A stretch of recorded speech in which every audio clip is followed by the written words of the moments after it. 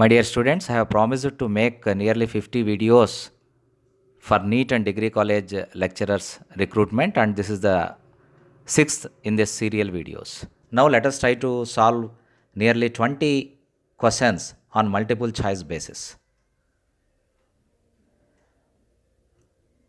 Number of bones in human beings is number of bones in human beings is 206 number of bones in human being is 206 number of vestigial organs in human being is 180 number of vestigial organs in human being is 180 number of cervical vertebrae in mammals typical number of cervical vertebrae in mammals is 7 typical number of cervical vertebrae in mammals is 7 structural and functional unit of lungs is alveoli.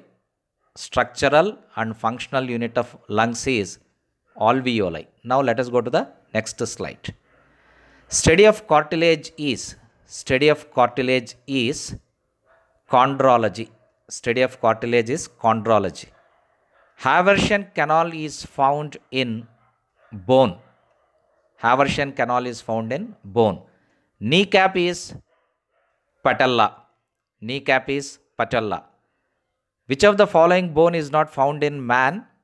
Furcula. Because this furcula is found in case of birds. Collarbone is collarbone is collar uh, bone is clavicle. Collarbone is clavicle breastbone is sternum. Smallest bird is hummingbird. Fastest bird is swift. Because these are highly fundamental uh, questions i am going little bit faster. Collarbone is clavicle breastbone is uh, sternum. Smallest bird is hummingbird. Fastest bird is swift. Most useful bird is crow. Most useful bird is most useful bird is crow. Because it is a scavenger bird it is responsible for cleaning the environment. Passer domesticus is the scientific name of sparrow.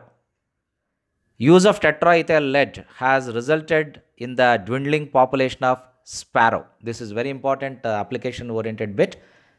Previously tetraethyl lead is used in petrol as anti-knock agent uh, that is called leaded petrol. And the usage of this uh, leaded petrol that is uh, combined with this tetraethyl lead is responsible for reduction or drastic dwindling of sparrow population.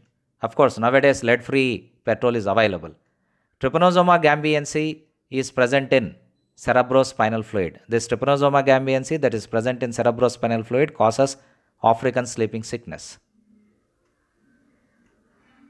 gyroscope of the body is cerebellum. Gyroscope of the body is cerebellum. This is also called uh, little brain and this cerebellum is responsible for maintenance of equilibrium and also for uh, regulating the activities of uh, voluntary muscles.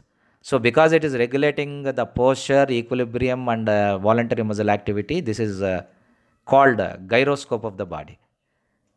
Depth of breathing is determined by pons depth of breathing is determined by pons no doubt breathing is regulated by medulla oblongata but the depth with which you are inhaling oxygen is determined by pons voluntary muscle activity is controlled. This is already covered in a different form. Voluntary muscle activity is controlled by cerebellum which is also called uh, little brain. And in a drunkard the alcohol uh, influences this cerebellum activity. As a result that person can't uh, maintain his posture after taking alcohol. Involuntary activities are controlled by medulla oblongata. Involuntary activities are controlled by medulla oblongata. So these are the 20 bits uh, we have learned today and we will come out with uh, another series uh, which revolve around the fundamentals and basics of the zoology in the next slide or in the next series. Thank you very much